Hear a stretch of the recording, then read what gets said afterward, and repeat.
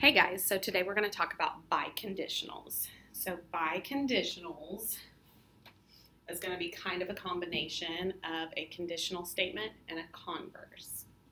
So biconditionals. So a biconditional, when a conditional and a converse are both true, we can combine those into a true biconditional using the phrase if and only if. Now we abbreviate that phrase just IFF. So it looks kind of like if, if, if, if, if but it's just uh, means if and only if. The symbolic form has arrows going in both directions. All right, so let's look at an example. if two angles have the same measure, then they are congruent. So would that be true or false? If two angles have the same measure, are they congruent? They are, so that is a true statement. Now let's write the converse. So the converse is the flip of that. So our subject is two angles. So I'm not going to start with if they. I'm going to say if two angles because they are the two angles. So if two angles are congruent, I'm just going to do the symbol for congruent, then they have the same measure. Okay, so I just read the converse. Now, would that be true? If two angles are congruent, then they have the same measure. That would also be true. So since both statements are true, we can combine them into a biconditional. Now, it does not matter if you use the original statement or the converse. It doesn't matter. But what you do is you drop off the if, and in place of then, we put the which means if and only if. So I would say two angles have the same measure if and only if they are congruent. so that is how a biconditional works. So on your assignment, numbers 1, 2, and 3, you're going to determine if the conditional statement is true. If it is, write the converse. And if the converse is true, we write a true biconditional. So if two segments have the same length, then they are congruent. So if two segments have the same length, are they congruent? They are, so that is true. Converse is just the flip. So then they, or if they, what is they? What's the they we're talking about? Well, we're talking about two segments. So I'm going to say if two segments are congruent, then they have the same length. Is that also a true statement? If two segments are congruent, then they have the same length. That is a true statement, so we can write a true biconditional. So remember, it doesn't matter if you use the converse or the original statement. You drop off the if, and in place of then, you put IFF. Two segments have the same length if and only if they are congruent. So you'll do the same thing with number 2. So if x equals 12, then 2x minus 5 equals 19. Well, let's see, if I add 5, I get 24, divide by 2, I do get 12. So that's a true statement. So the converse, if 2x minus 5 equals 19, then x equals 12. That would also be a true statement. So we could write the biconditional. x equals 12 if and only if 2x minus 5 equals 19. Last one says if today is Saturday, then there is no school. So the so the converse would be if there is no school,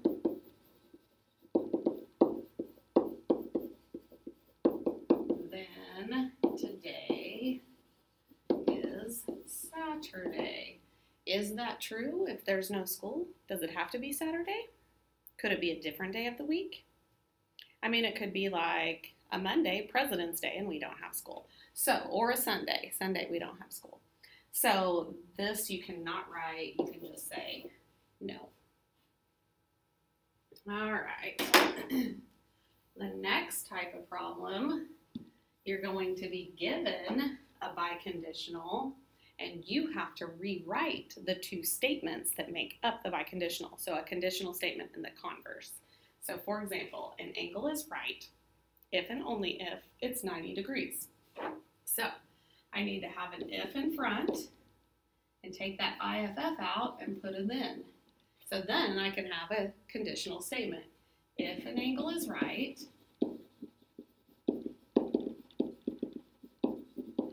then its measure is 90.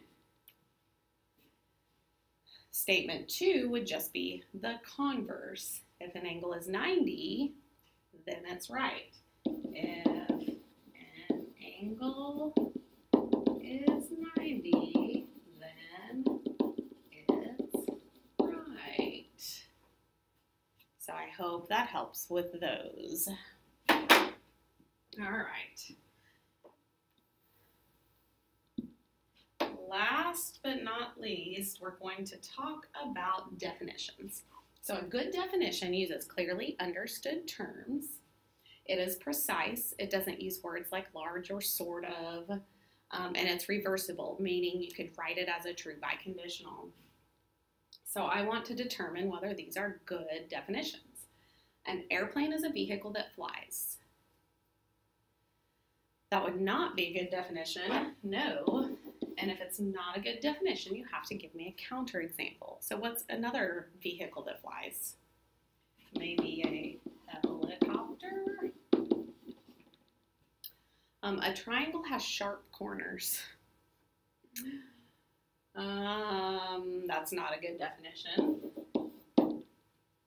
A square you could say a road. When you're ro- driving down a road and you make a sharp right that has sharp corners too. So lots of lots of counter examples a cat is an animal with whiskers. That's not a good definition either. What else has whiskers? Maybe a rat. A rat has whiskers. Um, perpendicular lines are lines that intersect to form four right angles that would be a good definition because that's what perpendicular lines are. They are lines that intersect to form four right angles. So that's a good definition. So let's look at some on your assignment. But first, I thought this was cute. So they're trying to take pictures and the bunny's trying to give the bunny bunny ears, but he already has ears. So I just thought that was funny. Okay. Moving on, let's determine whether we have good definitions. So, a segment is part of a line. Well, it is part of a line, but that's not a good definition. You'd have to describe it a little bit more, like a segment has two endpoints, something. It's part of a line consisting of two endpoints.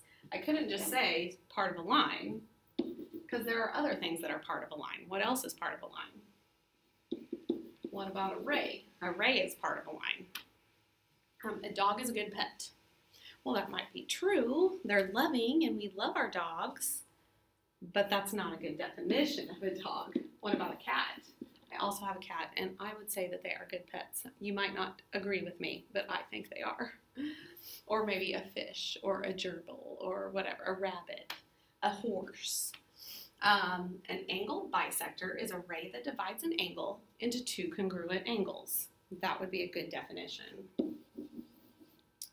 An obtuse angle is an angle whose measure is greater than 90 but less than 180.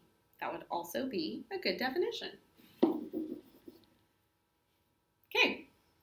Um, some of the problems you're going to just write as a biconditional. So like the first one says congruent angles are angles with the same measure. So you might say something like angles are congruent if and only if they have the same measure. Um, whole numbers are non-negative integers. You might say something like numbers are whole if and only if they are non-negative integers. So that's how I would write those. Okay.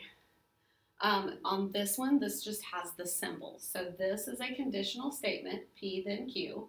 This is the converse, Q then P. This is the biconditional. So it gives you what P should be and what Q should be. So let P be the statement, angle A is an acute angle. So I would say for this one, if angle A is an acute angle, then angle A has a measure between 0 and 90. So that's just the conditional. Then number 15 is the converse, the flip. We want Q to go first. So if angle A has a measure between 0 and 90, then angle A is an acute angle. And then 16 is the biconditional.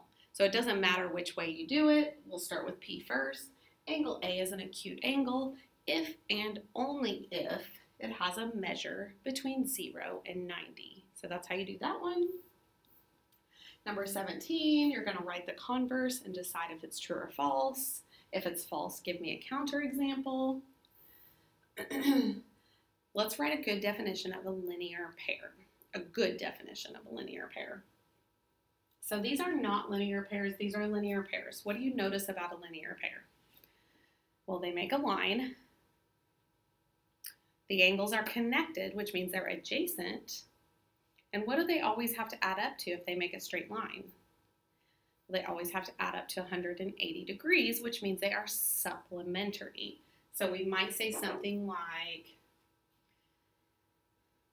a linear pair are adjacent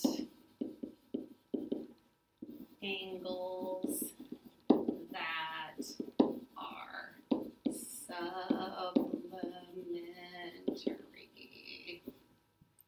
you need to say something about them being both adjacent and supplementary. All right. And then you're going to decide yes or no, are those linear pairs? There is only one yes. I hope you can find it. Then these are just some angle review problems. I hope you remember that vertical angles equal each other, equal each other. Um, a linear pair adds to 180, and then complementary angles add to 90. So if you have any questions, just let me know. Thank you.